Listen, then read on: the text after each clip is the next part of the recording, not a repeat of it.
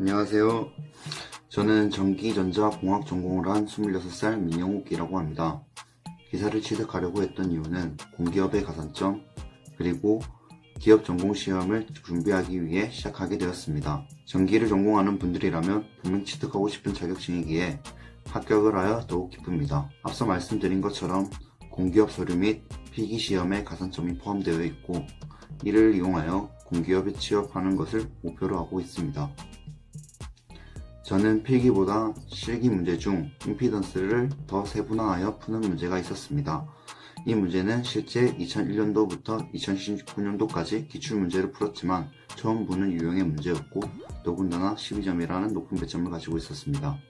이 문제의 생소한 점은 퍼센트 저항과 퍼센트 리액턴스를 직접 풀어서 답을 낸다는 것인데 퍼센트 임피던스를 이용하여 보통의 단락 전류 용량을 구하는 문제와 달랐습니다.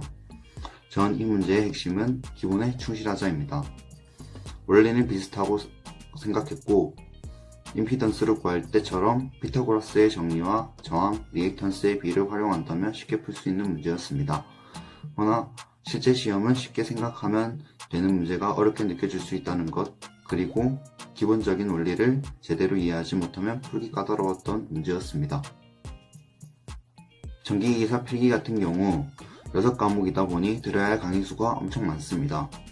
그러나 이 모든 강의를 듣고 제 것으로 만들어야 하며 이를 위해 매일 공부하겠다는 열정과 꾸준함이 강의 수강을 들을 때 좋을 것 같습니다. 제가 추천하는 공부법은 강의를 모두 듣자입니다.